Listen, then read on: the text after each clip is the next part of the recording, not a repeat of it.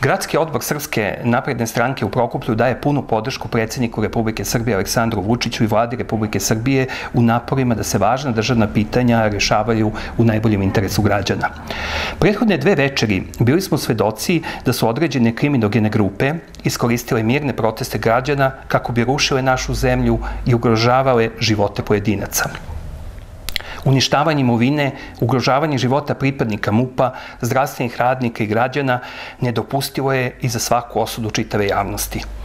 U piku pandemije koronavirusa ovakvi nasilni skupovi pokazuju svu neodgovornost i bezumlje organizatora kojima je očigledno interes nekih spoljnih nalogodavaca važniji od života i zdravlja građana Srbije.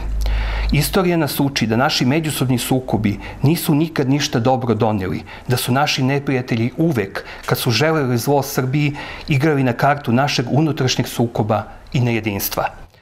Nasilje nije i nikada neće biti slika moderne i pristojne Srbije.